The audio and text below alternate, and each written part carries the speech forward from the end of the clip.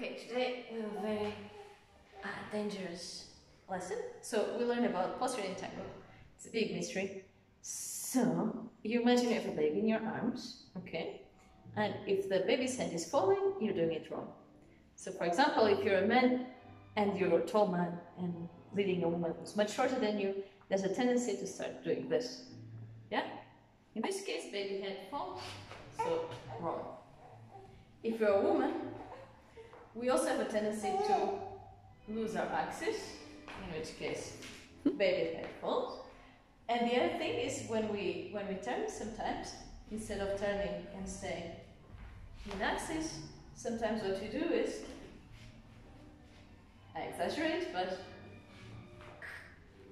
yeah, with it. Uh, in this case, baby head falls too, and yeah, yeah, yeah, we are unhappy.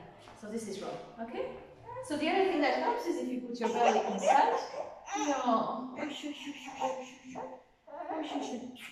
If you put your belly inside, then it's kind of more comfortable for woman. There's more room.